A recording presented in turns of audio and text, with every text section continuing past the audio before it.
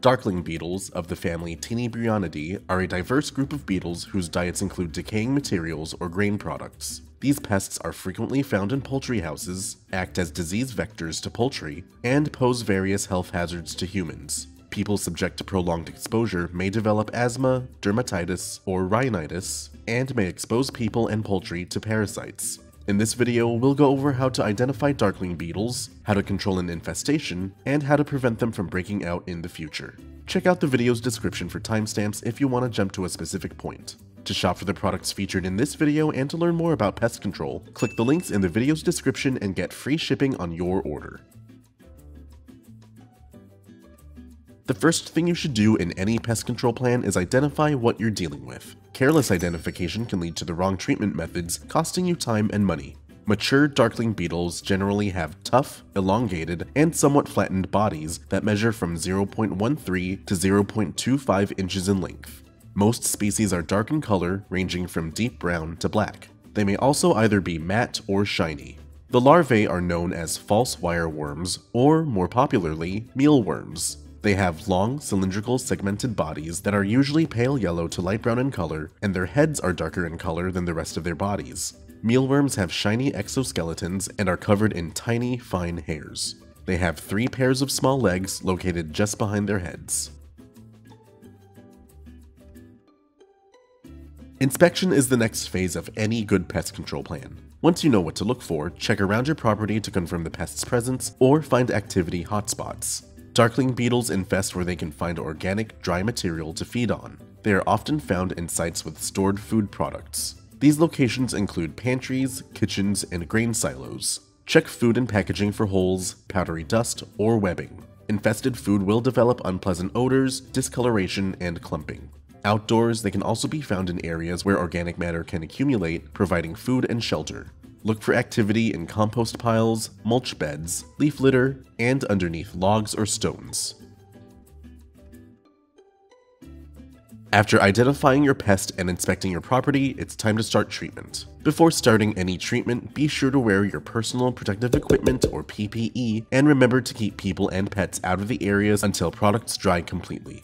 To start, employ some Integrated Pest Management, or IPM for short. These strategies include cleaning and other cultural practices to remove the conducive conditions that allow pests to thrive. Eliminate food sources where activity has been observed.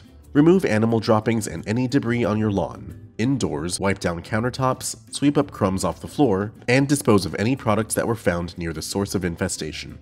Even if packages are sealed, darkling beetles and their larvae can chew through thin cardboard or plastic. Next, use exclusion methods to stop further beetles from invading your home. Seal cracks and crevices with caulk or expanding foam, and ensure all doors and windows close tightly with door sweeps and weather stripping. Finally, use targeted insecticides to eliminate any darkling beetles that have established themselves. Check out Cyonara 9.7 and Pivot 10 IGR. Cyonara will kill the adult population of beetles, while Pivot prevents immature beetles from developing into reproductive adults. These products may be applied separately, but you can also tank mix them and apply them together. The mix rate of Cyonara is 0.8 fluid ounces of product mixed into 1 gallon of solution to treat up to 1000 square feet. The mix rate of Pivot is 4 to 12 milliliters mixed into 1 gallon of solution to treat up to 1500 square feet. To apply this product with Cyonara in 1000 square feet, you may use 2.67 to 4 milliliters of Pivot. Indoors, clear away food items and utensils from the pantry and other areas where food is stored or prepared, then apply your solution as a surface spray or crack and crevice treatment. After application, do not replace foodstuffs or utensils until the spray has completely dried. This application may be reapplied every 21 days as needed. Outdoors, conduct a perimeter application by spraying entry points like doors, windows, and other voids that insects can use to hide or invade. Next, spray your structure's outer perimeter 3 feet up the foundation and at most 6 feet out. Do not allow people or pets around the treated area until the product has dried completely. Prevention is essential to keeping pests in check. Even after applying pesticides, the best way to stop pest activity is to ensure it can't happen. To prevent darkling beetles from infesting, clean up your property to create an environment that's unsuitable for their survival. Maintain strict sanitation by regularly cleaning up spilled food, debris, and organic matter indoors and outdoors. All loose products like flour, cereal, or pet food should be stored in airtight sealable containers. Ensure there is proper ventilation in your home and in any animal harborages to keep humidity low. Finally, make repeat applications of Cyonara 9.7 every 3 months to protect your property year-round.